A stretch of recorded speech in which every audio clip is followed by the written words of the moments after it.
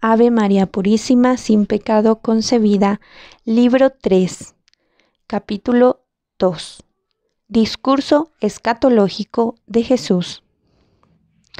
San Mateo, al final de las recriminaciones de Jesús a los escribas y fariseos, y por tanto en el contexto de las enseñanzas que siguieron a su entrada en Jerusalén, nos transmite unas palabras misteriosas de Jesús que en Lucas se encuentran durante su camino hacia la ciudad santa. Cito, Jerusalén, Jerusalén, que matas a los profetas y la pidas a los que te son enviados. ¿Cuántas veces he querido reunir a tus hijos como la gallina reúne a sus pollitos bajo las alas? Pero no habéis querido. Pues bien, vuestra casa quedará vacía. Fin de la cita. Mateo capítulo 23, versículo 37 y siguientes Comparar Lucas capítulo 13, versículo 34 y siguientes. En estas frases se manifiesta ante todo el amor profundo de Jesús por Jerusalén, su lucha apasionada para lograr el sí de la ciudad santa, el mensaje que Él ha de transmitir y con el cual se pone en la gran línea de los mensajeros de Dios en la historia precedente de la salvación. La imagen de la gallina protectora y preocupada proviene del Antiguo Testamento. Dios encontró a su pueblo en tierra desierta y le envuelve, le sustenta, le cuida como a la niña de sus ojos, como uno que vela por su nidad, revolotea sobre sus polluelos.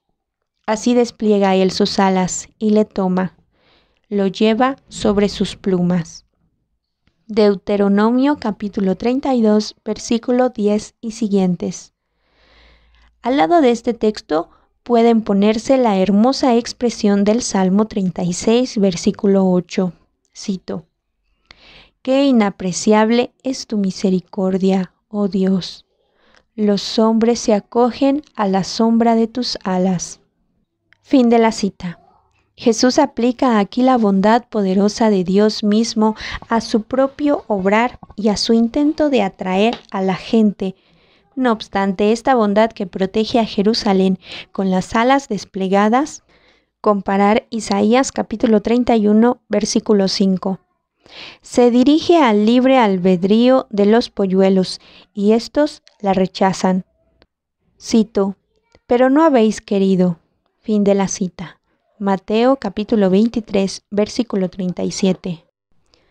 La desdicha que se sigue de esto la indica Jesús de manera misteriosa, pero inequivocada, con una palabra que retoma una antigua tradición profética. Jeremías, ante el mal comportamiento en el templo, había proferido un oráculo de Dios. Cito, Dejé mi casa, abandoné mi heredad. Fin de la cita capítulo 12, versículo 7. Precisamente lo mismo que anuncia Jeremías, cito, vuestra casa quedará vacía. Fin de la cita. Mateo capítulo 23, versículo 38. Dios se marcha. El templo ya no es aquel lugar donde Él ha puesto su nombre. Quedará vacío. Ahora es absolutamente vuestra casa. Estas palabras de Jesús encuentran un paralelismo sorprendente en Flavio Josefo, el historiógrafo de la guerra judía. También Tácito ha recogido esta noticia en su obra histórica. Flavio Josefo habla de acontecimientos extraños ocurridos en los últimos años antes de que estallara la guerra judía.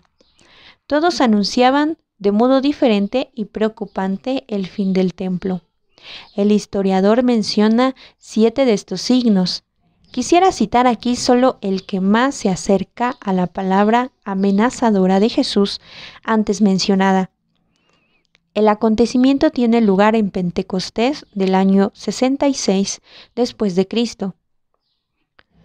Cito: cuando en la fiesta llamada Pentecostés llegaron los sacerdotes al patio interior del templo para desempeñar su ministerio sagrado, siguiendo la costumbre.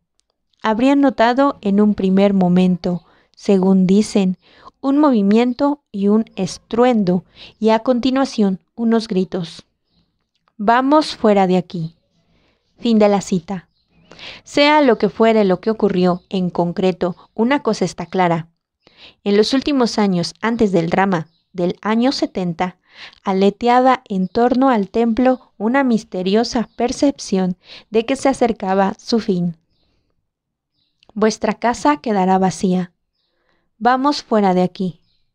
En la forma de la primera persona del plural, típica del hablar bíblico de Dios, comparar por ejemplo Génesis capítulo 1 versículo 26, el mismo anuncia que se irá del templo, dejándolo vacío. Había en el aire un cambio de alcance universal y de sentido imprevisible. En Mateo, a la palabra de la casa vacía, palabra que no anuncia todavía directamente la destrucción del templo, pero sí ciertamente su fin intrínseco, el cese de su significado como lugar de encuentro entre Dios y el hombre, sigue inmediatamente el gran discurso escatológico de Jesús con los temas centrales de la destrucción del templo, de la destrucción de Jerusalén, del juicio final y del fin del mundo. Este discurso transmitido por los tres sinópticos son distintas variantes. Ha de considerarse tal vez como el texto más difícil de los evangelios.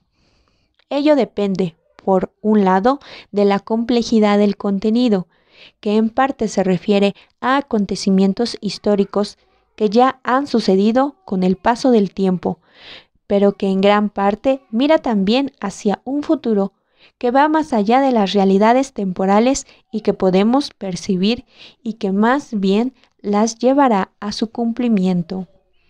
Se anuncia un porvenir que supera nuestras categorías y que no obstante puede presentarse solo mediante modelos tomados de nuestra experiencia, modelos que son necesariamente insuficientes frente al contenido que se ha de expresar. Así se comprende por qué Jesús, que habla siempre sustancialmente en continuidad con la ley y los profetas, explica el conjunto con una trama de palabras de la escritura, en la cual inserta la novedad de su misión, la misión del Hijo del Hombre. Así la visión del futuro se puede expresar en una buena medida con imágenes de la tradición que quieren llevarnos más cerca de lo indescriptible. Pero a estas dificultades del contenido se añaden también todos los problemas de la historia redaccional, precisamente porque la palabra de Jesús pretende en este caso ser un desarrollo en continuidad con la tradición y no descripciones del futuro. Quienes la transmitieron han podido elaborar ulteriormente estos desarrollos según las circunstancias y las capacidades de entender de sus oyentes, teniendo cuidado en conservar fielmente el contenido esencial del auténtico mensaje de Jesús. Este libro no tiene la pretensión de entrar en los múltiples problemas particulares de la historia, de la redacción y de la tradición del texto quisiera limitarme a destacar tres elementos del discurso escatológico de Jesús, en los que se muestran con claridad las intenciones esenciales de esta composición.